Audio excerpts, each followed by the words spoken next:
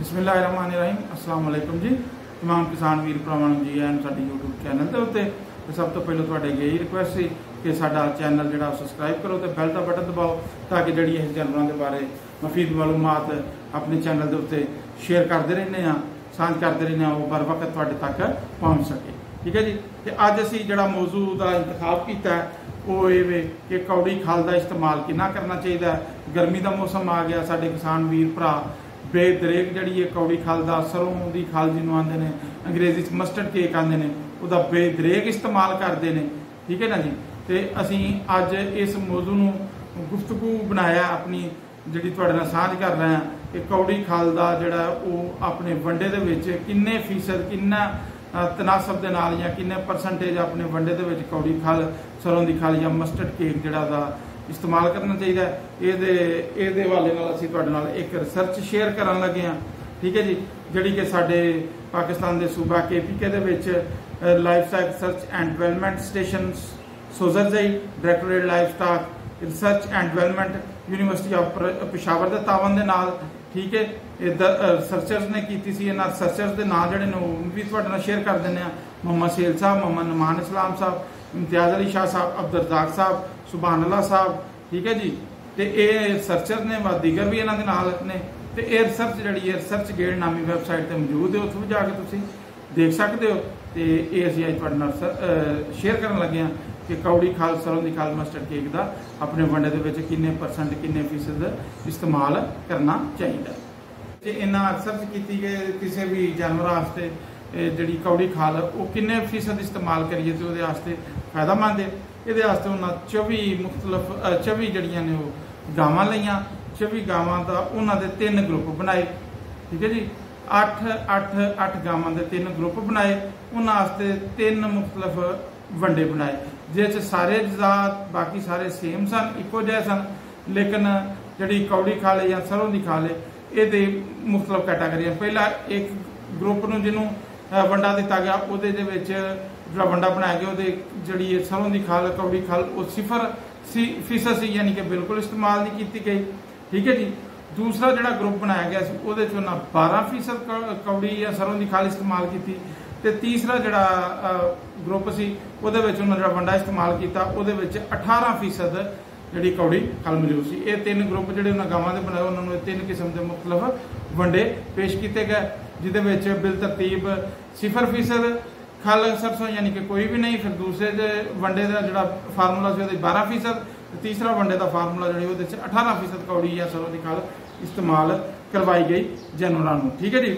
ਤੇ 45 ਦਿਨ ਦੀ ਇਹ ਰਿਸਰਚ ਜਿਹੜੀ ਜਨਵਰਾਂ ਦੇ ਉੱਤੇ ਕੀਤੀ ਗਈ, ਠੀਕ ਹੈ? 45 ਦਿਨ ਤੋਂ ਬਾਅਦ ਜਦੋਂ ਉਹਨਾਂ ਰਿਜ਼ਲਟ ਕੱਢਿਆ, ਤੇ ਉਹ ਰਿਜ਼ਲਟ ਜਿਹੜੇ ਸਨ, ਉਹ ਬੜੇ ਹੈਰਤ ਅੰਗੇਜ਼ ਸਨ ਕਿ ਜੋ ਇਹ ਗਰੁੱਪ ਨੂੰ ਯਾਨੀ ਕਿ ਜਿਹੜਾ ਦੂਸਰਾ ਗਰੁੱਪ ਸੀ, ਜਿਹਨੂੰ 12% ਵੰਡੇ ਦੇ ਵਿੱਚ 12% ਸਰੋਂ ਦੀ ਖਲ ਜਾਂ ਕੌੜੀ ਖਲ ਇਸਤੇਮਾਲ ਕਰਵਾਈ ਗਈ ਸੀ, ਉਹਦੇ ਜਿਹੜੀ ਦੁੱਧ ਦੀ ਪੈਦਾਵਾਰ ਹੈ, ਉਹਦੇ ਚ ਨਾ ਸਿਰਫ ਬਲਕਿ ਉਹਦੇ ਦੁੱਧ ਦੀ ਪੈਦਾਵਾਰ 'ਚ ਇਜ਼ਾਫਾ ਹੋਇਆ, ਬਲਕਿ ਦੁੱਧ ਦੇ ਵਿੱਚ ਫੈਟ, ਪ੍ਰੋਟੀਨ, ਲੈਕਟੋਜ਼ ਤੇ ਐਨਐਸਐਫ ਦੀ ਜਿਹੜੀ ਲੈਵਲ ਹੈ, ਉਹ ਵੀ ਬਿਹਤਰ ਹੋ ਗਿਆ, ਉਹ ਵੀ ਵੱਧ ਗਿਆ।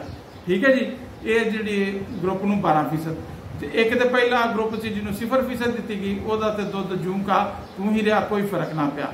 ਲੇਕਿਨ ਜਿਹੜੀ ਇਹ 'ਚ ਹੈਰਤ ਅੰਗੇਜ਼ ਗੱਲ ਹੈ ਜਿਹੜੀ ਇੱਕ ਆਪਣਾ ਹੈਰਾਨਗੀ ਵਾਲੀ ਗੱਲ ਹੈ ਕਿ 12% ਦੇ ਨਾਲ ਤੇ ਦੁੱਧ 'ਚ ਵੀ ਇਜ਼ਾਫਾ ਹੋਇਆ ਤੇ ਦੀਗਰ ਦੁੱਧ ਦੇ ਜਿਹੜੇ ਅਜਜ਼ਾ ਨੇ ਐਸਐਨਐਫ ਲੈਕਟੋਜ਼ ਪ੍ਰੋਟੀਨ ਫੈਟ ਵਗੈਰਾ ਉਹਦੇ 'ਚ ਵੀ ਇਜ਼ਾਫਾ ਹੋਇਆ।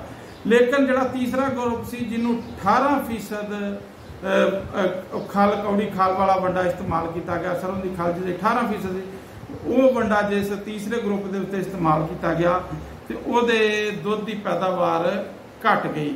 ਯਾਨੀ ਕਿ ਉਹਦੇ ਨਾਲੋਂ ਵੀ ਘਟ ਗਈ ਕਿ ਜਿਹਦੇ 'ਚ ਬਿਲਕੁਲ ਇਸਤੇਮਾਲ ਨਹੀਂ ਸੀ ਕੀਤੀ, ਉਸ ਗਰੁੱਪ ਦੀ ਜਿਹੜੀ ਦੁੱਧ ਦੀ ਪੈਦਾਵਾਰ ਸੀ, ਉਹਦੇ ਨਾਲੋਂ ਵੀ ਉਸ ਗਰੁੱਪ ਦੀ ਦੁੱਧ ਦੀ ਪੈਦਾਵਾਰ ਘਟ ਗਈ, ਜਿਹਦੇ ਵਿੱਚ 18% ਜਾਂ ਸਰੋਂ ਦੀ ਖਾਲ ਇਸਤੇਮਾਲ ਕੀਤੀ ਗਈ ਸੀ।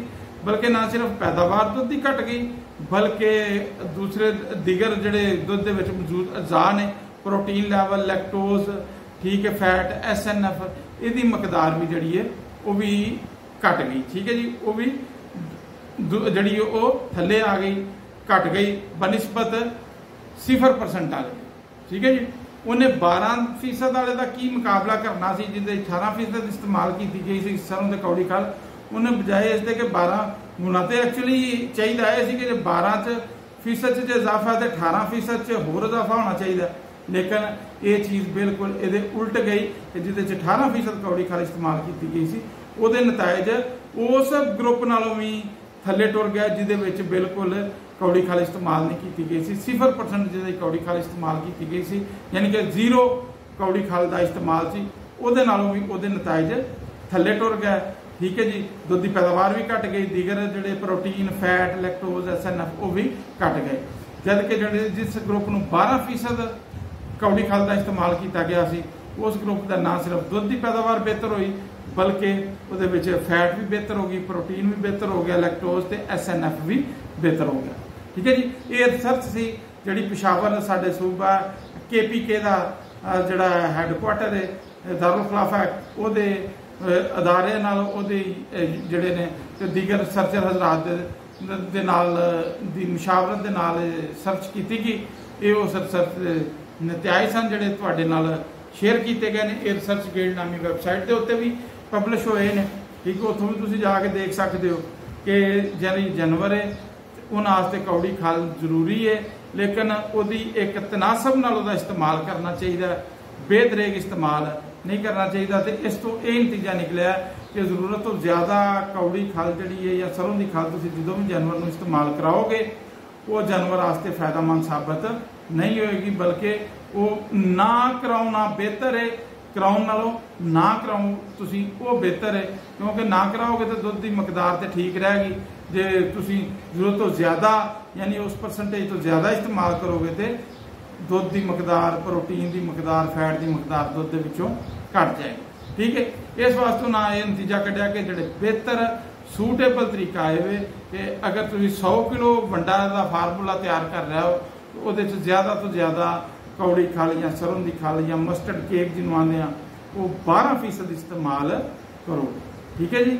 ਯਾਨੀ ਕਿ 12 12 ਹਿੱਸੇ ਕੌੜੀ ਖਲ ਇਸਤੇਮਾਲ ਕਰੋ, ਬਾਕੀ 88 ਹਿੱਸੇ ਦੂਸਰਾ ਆਪਣੇ ਜ਼ਿਆਦਾ ਮਿਕਸ ਕਰਕੇ ਵੰਡਾ ਬਣਾਓ, ਤੇ ਉਹਦੇ ਨਾਲ ਇਨਸ਼ਾਅੱਲਾ ਤਾਲਾ ਤੁਹਾਡੇ ਰਿਜ਼ਲਟ ਜਿਹੜੇ ਨੇ ਬਿਹਤਰ ਆਉਣਗੇ। ਇਸੇ ਤਰ੍ਹਾਂ ਤੁਸੀਂ ਆਪਣਾ ਅੰਦਾਜ਼ਾ ਕੱਢ ਸਕਦੇ ਹੋ ਕਿ ਫਾਰ ਐਗਜ਼ਾਮਪਲ ਅਗਰ ਤੁਸੀਂ 1 ਕਿਲੋ ਵੰਡਾ ਬਣਾਉਂਦੇ ਹੋ ਤੇ 1 ਕਿਲੋ ਵੰਡੇ ਦੇ ਵਿੱਚ ਤੁਹਾਡੇ ਜਿਹੜੇ ਨਾ ਜਨਾਬ 100 ਤੇ 20 ਗ੍ਰਾਮ ਜਿਹੜੀ ਹੈ ਉਹ ਕੌੜੀ ਖਲ ਹੋਣੀ ਚਾਹੀਦੀ ਹੈ ਜਾਂ 10 ਕਿਲੋ ਵੰਡਾ ਤੁਸੀਂ ਬਣਾਉਂਦੇ ਹੋ ਤੇ 10 ਕਿਲੋ ਵੰਡੇ ਤੁਸੀਂ, ਇਹ ਜਨਾਬ 1200 ਗ੍ਰਾਮ ਯਾਨੀ ਕਿ 1 ਕਿਲੋ 200 ਗ੍ਰਾਮ ਜਿਹੜੀ ਹੈ ਉਹ ਕੌੜੀ ਖਲ ਇਸਤੇਮਾਲ ਕਰੋ ਤੇ ਤੁਹਾਡੇ ਦੁੱਧ ਦੇ ਨਤੀਜੇ ਜਿਹੜੇ ਨੇ ਇਨਸ਼ਾਅੱਲਾ ਤਾਲਾ ਬਿਹਤਰ ਹੋਣਗੇ। ਠੀਕ ਹੈ ਜੀ?